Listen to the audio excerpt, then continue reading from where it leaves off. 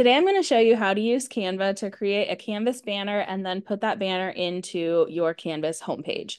So when you first log into Canva, go ahead and search in the bar here, and you can just type in Canvas banner. And if you scroll down, you will find an option for the Canvas banner. Go ahead and click on that and you are going to get a lot of different templates that are already pre-made and that you can customize.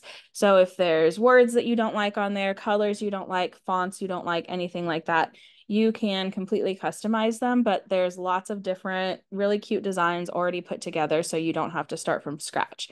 If you want to, you can definitely start from scratch just by using this blank template here, and that would be the right size, but a lot of these designs are cute, already made, a lot easier than making your own. So um, I'm just going to click on one and I'm going to customize it.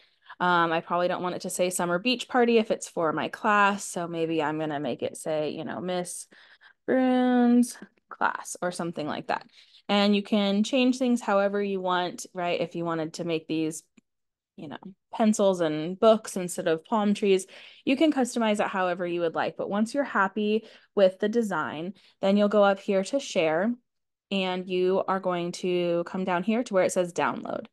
And you're going to download it. Uh, a PNG is fine. You don't need to change the size at all. Uh, so just leave all of this as it is and then go ahead and click on download. While that's downloading, you can go over to your Canvas page I already have a sample page open here. And once you have downloaded your banner, then you can click here on this uh, icon that kind of looks like a little landscape photo. Click there, say upload image, and then click again on upload image. And you should be able to find the banner that you just created in your downloads folder.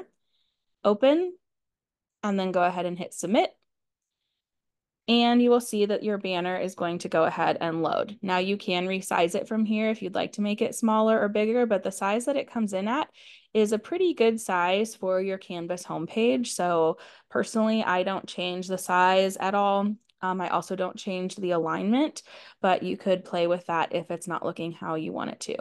Um, if your page is ready to go, you can save and publish, or you can just save if you're still working on it, and you can see what it will look like uh, as the banner for your homepage.